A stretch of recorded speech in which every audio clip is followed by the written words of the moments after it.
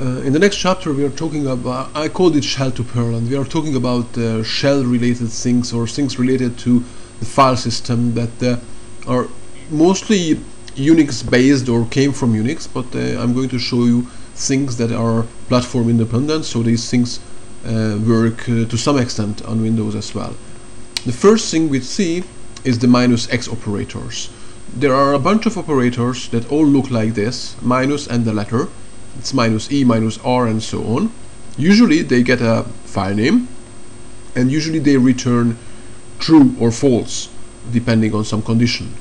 So these are these have really strange names, but the reason they have this name is because in the Unix shell that's how they they looked like and worked, and uh, Perl inherited it from there or came got, got the idea from there, and is still uh, used. But uh, some of them are relevant also on Windows. Some of them are just irrelevant there.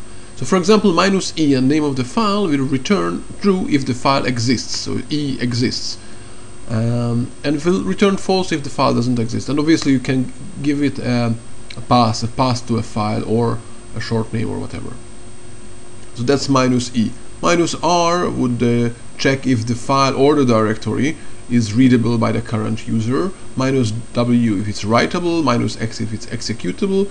These are the regular unix bits.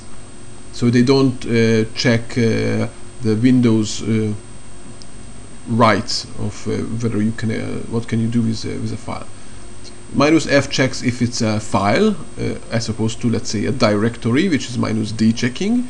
So minus d and name and the path to something will return true if that that thing is a directory minus f would check whether that's a file minus l checks this is an l checks whether that's a symbolic link. Again this uh, this is something that's only relevant on unix or linux systems.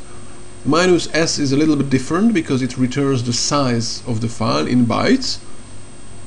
So, uh, but you can use it uh, also as a, in a condition because that's the, the value it returns is is going to be a true value, any positive number, if the file exists and that has some content.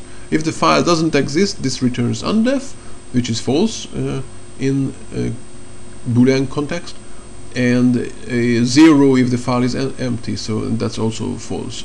So it can be used in an if statement though it can also be used like this. So minus s name of the file and it will return the, the size of the file. Minus capital M is a little bit strange again it returns the number of days between the change between the uh, start of the script when we started to run the script and the time the, the file was changed, modified last time. Uh, sorry, the, so the time between the modification and the run of the script. So if let's say uh, the and this is this is uh, in whole numbers, uh, or it's uh, rational numbers, but it's um, one meaning one day, so in days. So if the file was changed, uh, modified last time exactly a day ago, then this number will be one. If it was half a day ago, then it will be 0.5.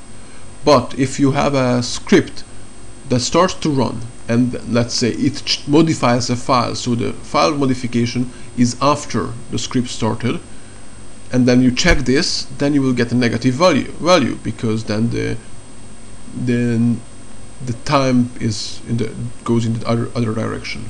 In general, you can ask uh, the documentation of Perl with perldoc minus f because it's a it's a function and uh, minus x and it will tell you exactly which what kind of uh, operators you have and uh, what do they do